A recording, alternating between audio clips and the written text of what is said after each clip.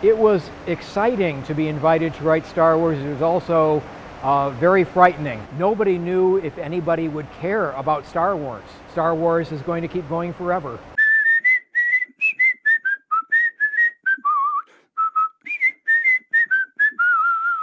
I'm Timothy Zahn. I've been writing science fiction for about 40 years. The biggest thing I'm known for are my 10 Star Wars books.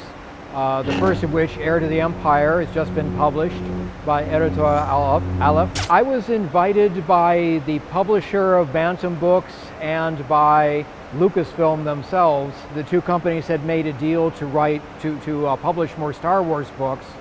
The editors at Bantam gave Lucasfilm a list of authors they thought could do Star Wars, and Lucasfilm liked my style best. So I got a completely unexpected, out of the blue phone call from my agent uh, in November of 1989 with the, the, the best offer I've ever had, the chance to write Star Wars books. We would be honored if you would join us. It was exciting to be invited to write Star Wars. It was also uh, very frightening because I could write a book that thousands, maybe millions of people would read, but if I didn't do it right, all those people would also be mad at me. I have a very bad feeling about this. Dark Horse Comics oh. decided they wanted to do the adaptation of the of the Thrawn trilogy with six issues for each of the books. They originally came to me and asked if I would like to do the scripting for it. And I looked at how much of a book I had and how much of a book it was going to be put down into, and I knew I couldn't do it properly. Do or do not. There is no try. So they asked Mike Baron instead, and I didn't think I would have the heart to cut out scenes and, and things that I liked that I'd worked hard to put in. I just didn't think I could do it proper justice, and it would be hard just mentally for me to, to take the book and trim it down as much as it had to be done. So um, I was just as happy to, to let Mike handle all of that.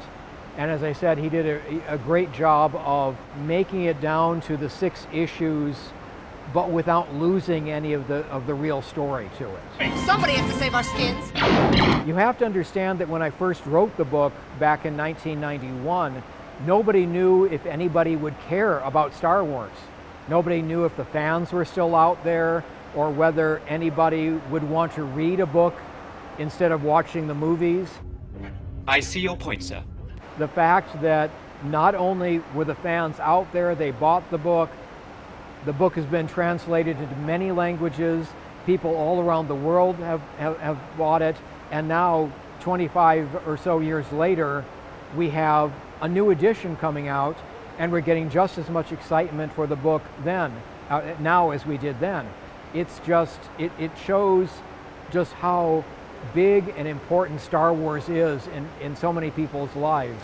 And it's very gratifying that something I did that far back is still being remembered and still being read. Star Wars itself, just something has captured the imagination all over the world.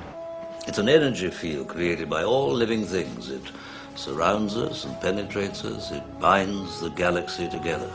And now we're getting new movies and new comics and new books. And Star Wars is going to keep going forever. It's true.